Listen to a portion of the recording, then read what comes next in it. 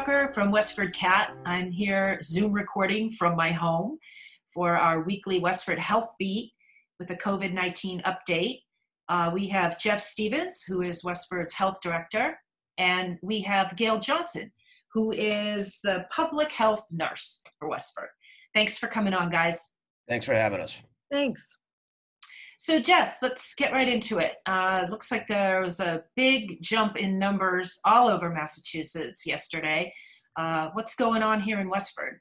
So, yeah, there has been a big jump. And I think it's important for everybody to remember that a few weeks ago, uh, the state did predict the peak to be between the day, uh, dates of the 10th and the 20th.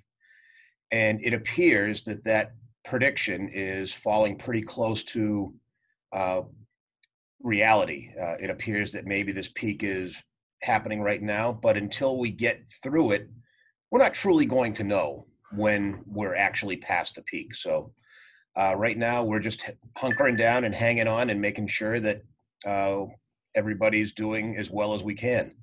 As far as our numbers go, uh, in Middlesex County, there are 10,724 cases as of yesterday afternoon. That number will most likely go up today after four o'clock. Uh, and locally, we've got 100 active cases, 60, uh, 100 total cases in town, 64 um, are active, and 32 people have recovered. Um, that number jumped up quite a bit over the past week, and a lot of people would really like to know why that's happened. And what I do have to tell people is that all of those numbers do represent a person. And those people are patients and patients have rights to privacy. So where they are and how they got to where they're at isn't anything we can share. It's important to know uh, it's nobody would want their own personal medical information to be shared with anybody else. And that's why we can share you a number but we can't tell you who or where. Um, but with those numbers, there's something I'd like for people to really understand, and that is for people to understand how much work goes into the contact tracing. Uh, every time there's a positive case that shows up in the state's MAVEN system, which is the epidemiological uh, virtual network, um, these people uh, are contacted, and they're contacted by people like Gail Johnson.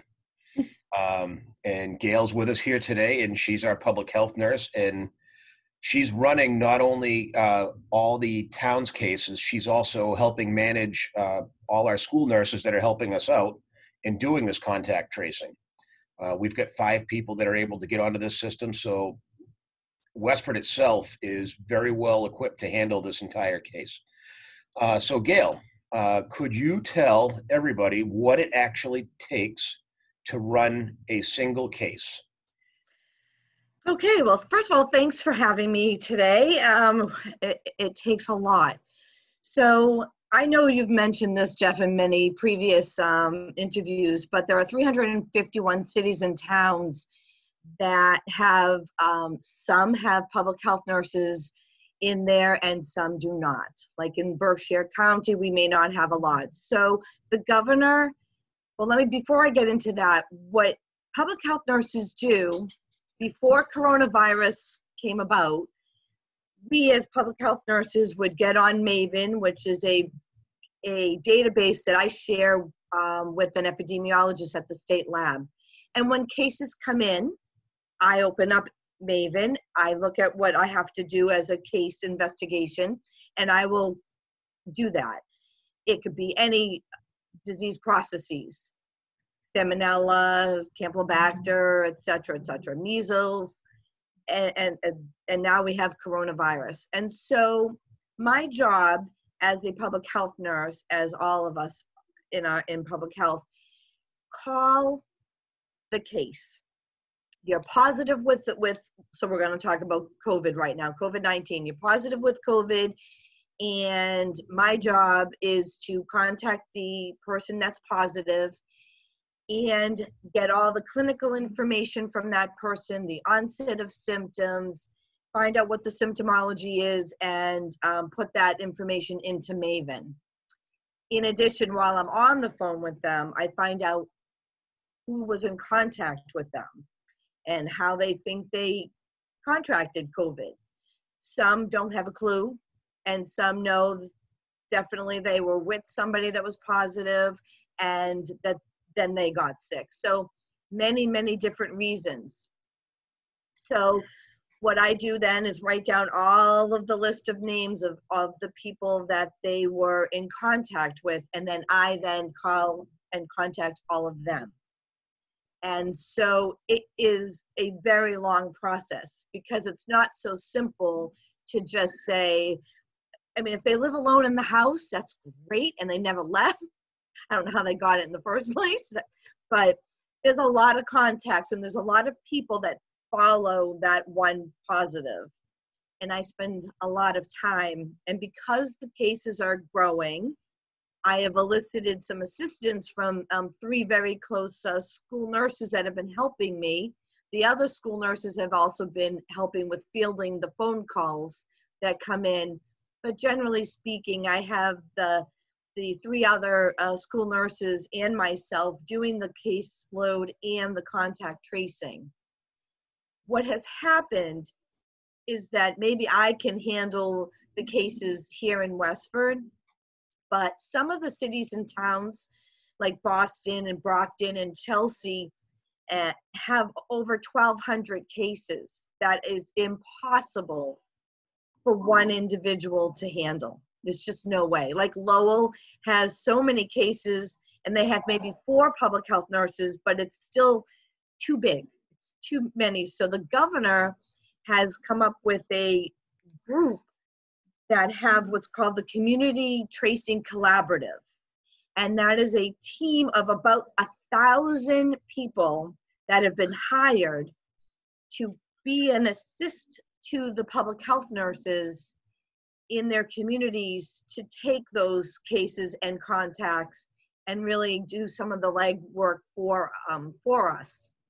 So what's happening as it's being rolled out through the governor's office, we are um, getting assistance through their you know through them. So it's it's a wonderful collaborative that helps public health nursing really be able to really get all the contacts and the tra- and the tracing done. So with their help, and it's through Partners in Health, they're helping us do that. So it's been a great um, collaboration. Hey, Gail, I've got a question for you. Mhm. If I was to be curious about, say, I heard my neighbor had COVID, if I was a contact, I would have been called, correct? Correct. So close contacts are considered somebody that's closer than six feet for longer than 15 minutes of time.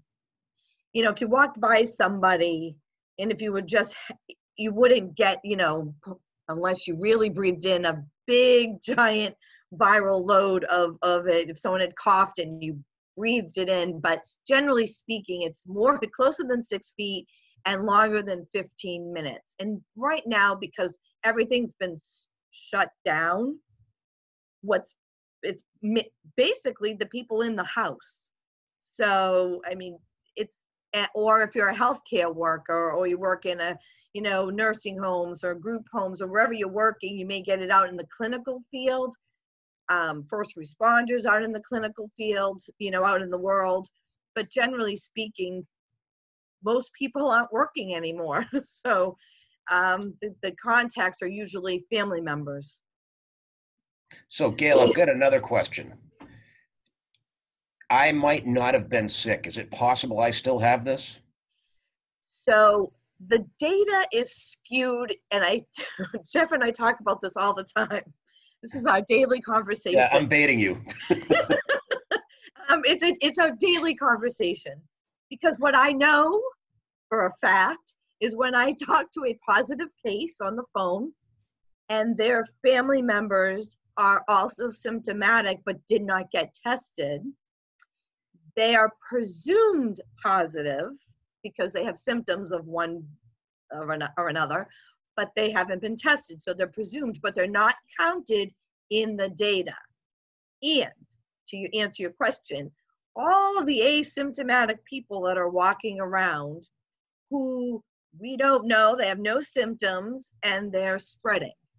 So it used to be droplets where you cough or you sneeze and you got it, but now it's, you know, if you're shedding the virus through just really being around somebody that has no symptoms. So when we talk about data and we are giving you numbers, Jeff, I give him, you know, how many people are in town, he then reports it and so on and so forth. But the problem is, is we're missing a huge statistical group of people, the asymptomatic group, that they don't even know they have it. So thank you, Jeff, for bringing that up. So let me ask you a question. Um, so when you said the um, you, so someone in town has it, and then you contact people that they've been in contact with. Are they required to go and get tested, or is it more of an urging, or? That's a great question, actually. A great, great question. Um, so here's the thing you are the case, you are the positive person.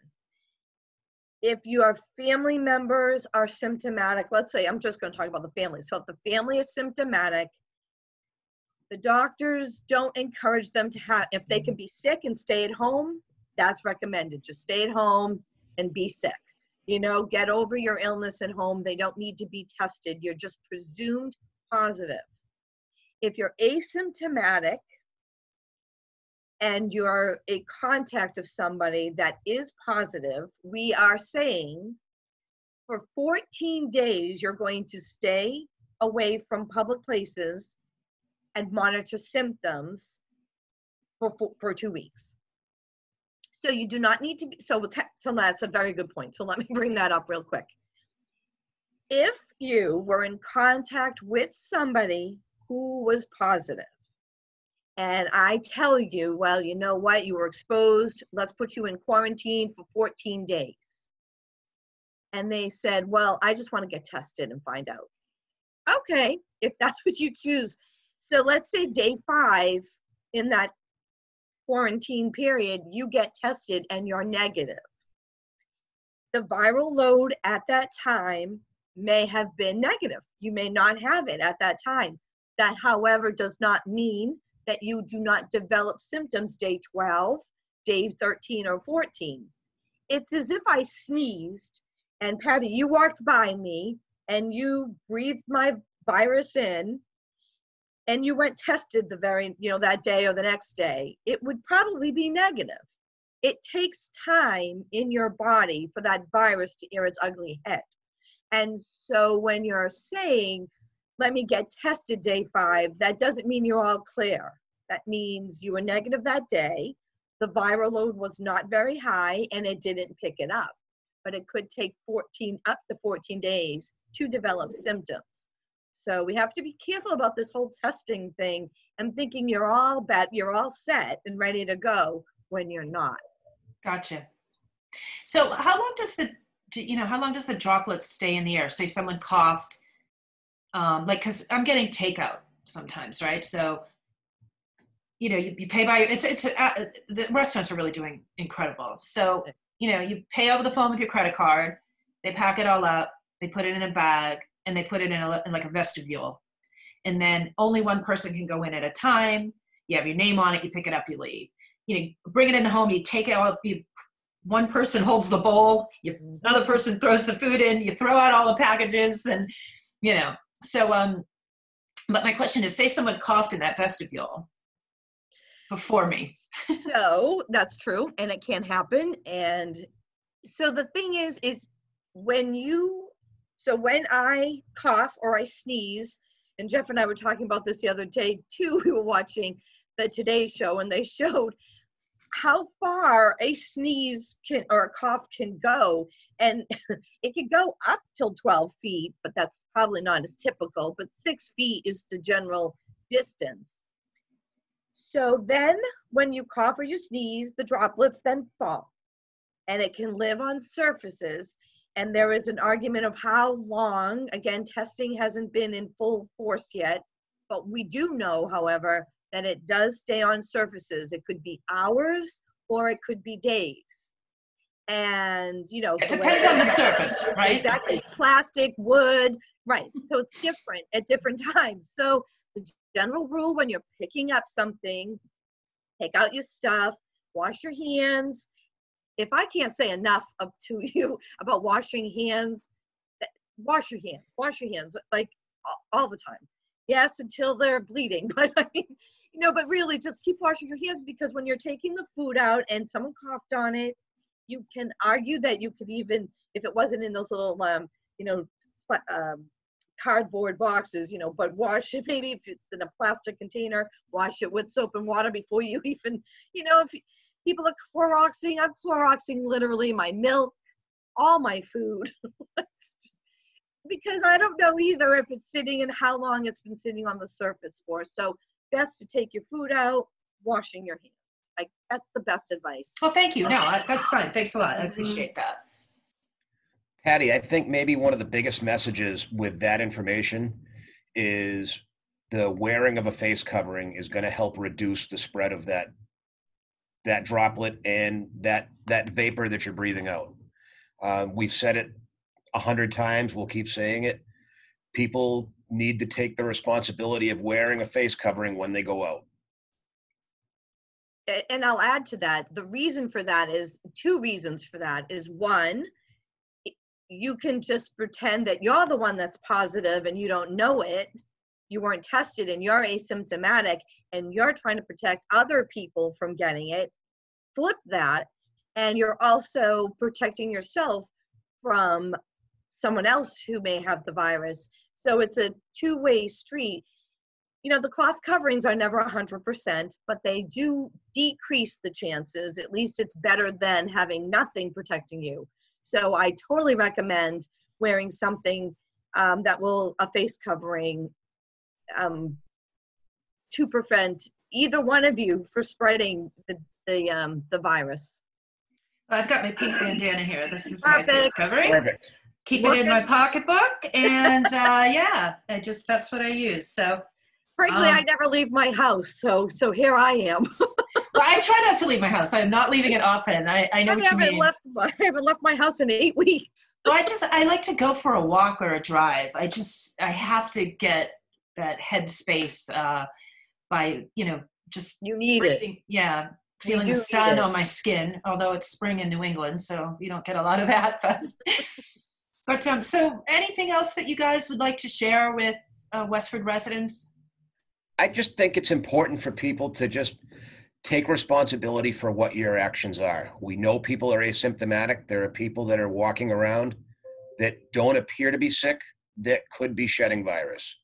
So be aware that you could be one of those people and just take responsibility for your own actions. Stay home when you can.